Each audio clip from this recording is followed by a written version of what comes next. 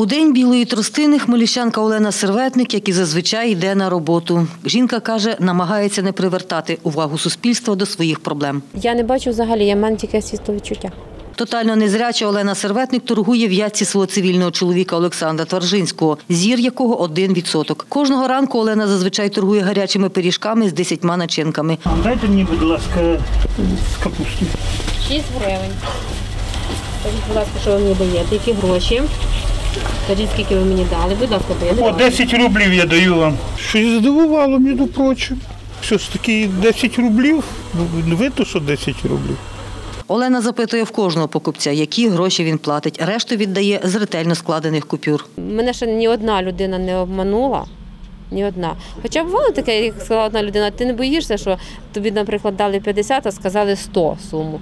Я кажу, ні, не боюсь, тому що я вірю довіряю людям. Пиріжки Олена щодня випікає власноруч. Каже, встає для цього вдосвіта. о пів на четверту ранку. І печу спочатку солодкі 15 штук, а потім сольоні те- теж 15 штук. У мене виходить 30 пиріжків в день. Хлібопічкою мішу.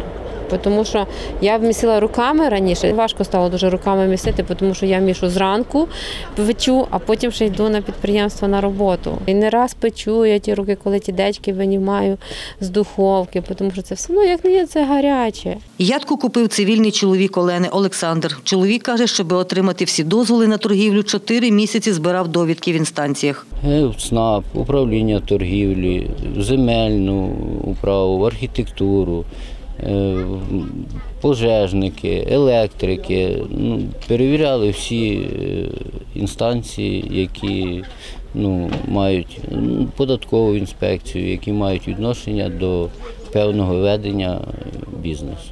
Зі слів Олександра, поки входив у роль приватного підприємця, стикнувся з бюрократією і не тільки з нею. образа така трошки на душі, що е, ніхто не рівняє.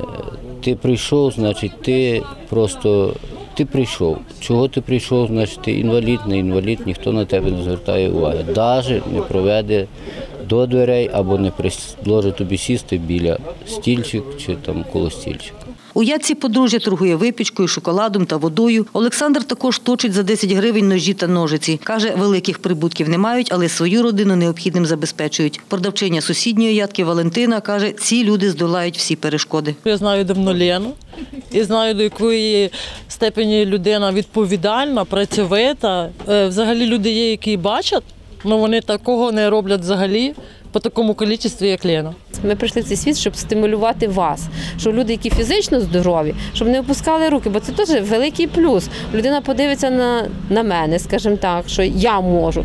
То чого їй опустити голову? Світлана Поробок, Юрій Чорний. Новини на Суспільному. Хмельницький.